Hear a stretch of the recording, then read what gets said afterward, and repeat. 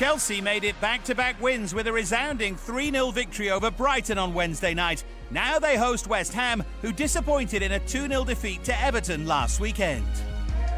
Eden Hazard is Chelsea's leading scorer on 14 goals. Alvaro Morata is still joint third on the Blues list with just five, and he left in January, summing up how vital the Belgian is to Maurizio Sarri's side.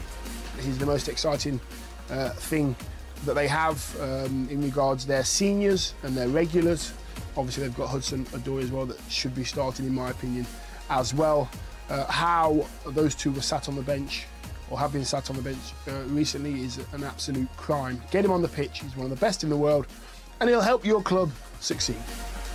West Ham fans will be hoping that Felipe Anderson overcomes the slight ankle knock that kept him out of last weekend's loss.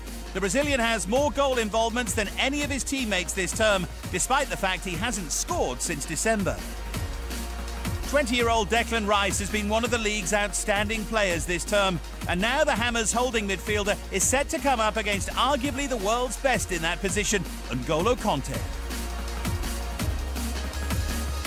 This fixture in August 2016 was Antonio Conte's first league game in charge of the Blues. An Hazard penalty had given Chelsea the lead before James Collins snatched a leveller for the visitors, only for Diego Costa to send the home fans and his new manager into a frenzy with a winner in the 89th minute.